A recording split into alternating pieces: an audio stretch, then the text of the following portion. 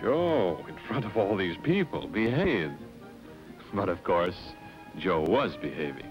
The way any lucky, happy young fellow about to be married would behave. It was only natural. Joe had to take off in a hurry to reach that job on time.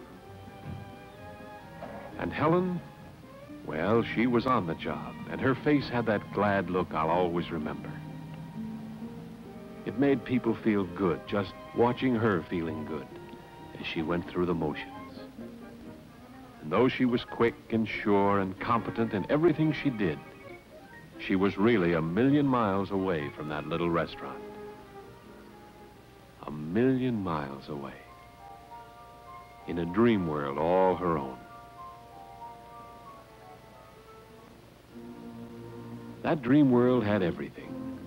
A church, complete with ministers saying the proper words. I was flattered to be a part of Helen's dream. There was a ring in it, and of course a beautiful dress and veil, and a handsome groom. And when the ceremony was over, there was the first of many, many kisses. Yes, this was Helen's very own dream, and she was going to make it worth dreaming. She wasn't skimping on anything. There was that perfectly scrumptious model house she'd been wanting for all these years. And here it was, exactly as she'd imagined. And here they were. And what was the sense in waiting? And so, the fastest sale on record. And while she was dreaming, she'd furnished that house that very afternoon so Joe could read his evening paper on that pretty couch that very night. So she could take that paper away and cuddle close. She dreamed of everything any dreamy young girl had ever dreamed before. Of crackling fires, of dimmed lights, of love. And even in her dreams, Helen missed Joe when he was gone.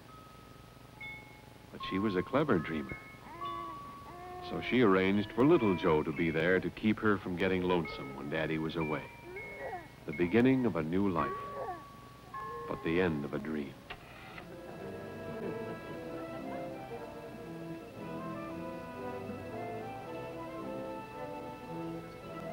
But on the job late in the afternoon of that day, the real-life Joe was in a real live hurry. He hadn't seen his Helen since early that morning. Come on, you guys. Get a move on. Let's get out of here. To the impatient Joe, the men seemed almost purposely stalling as they stowed their gear. And now the wheels of fate were set in motion. Call them the wheels of fate or the wheels of chance. But consider the man at the wheel was in the driver's seat.